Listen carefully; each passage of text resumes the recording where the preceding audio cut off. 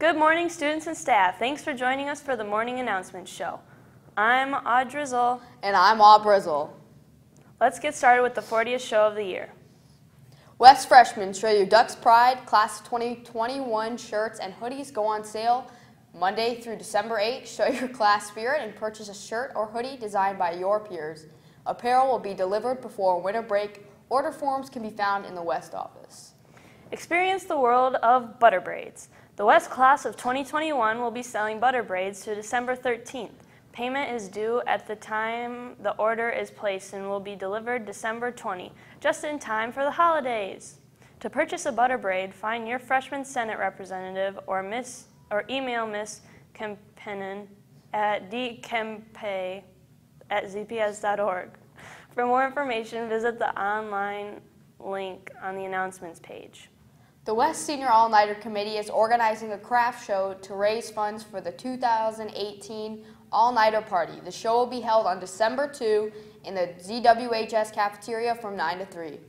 The Guidance Office has organized a college visit to Western Michigan University for Wednesday, November 29th. Interested students can fill out re the registration form found in the counseling section of the announcements page by Monday, November 27. The deadline to turn your senior portrait into the yearbook staff is January 6, 2018. Pics must be up and down, not sideways, and must include only you, no other people or animals. Send your high-resolution JPEG portraits to West ZWHS Yearbook 18 at gmail.com. East ZEHS Yearbook 18 at gmail.com. Tickets are on sale for the Winter Dance Concert, which is happening next weekend. Show times are 7 o'clock p.m. Friday and Saturday night with a noon matinee. Lugton, uh, see Ms. Lugton in the DeWitt Auditorium box office for tickets. The East girls basketball team is looking for an individual to film their games. If you are interested, please contact Mr. Ritzma. This is a paid position for the season. East, along with the Marine Corps, is collecting toys for local children to help celebrate the holidays.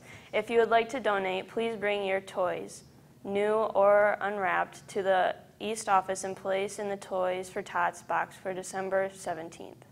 There are no sports results to report today, so... That's it for the show today. Thanks so much for watching. Have a great Thanksgiving break. I'm Audrizzle. And I'm Aubrizzle. Please remember to always be nice. Be nice.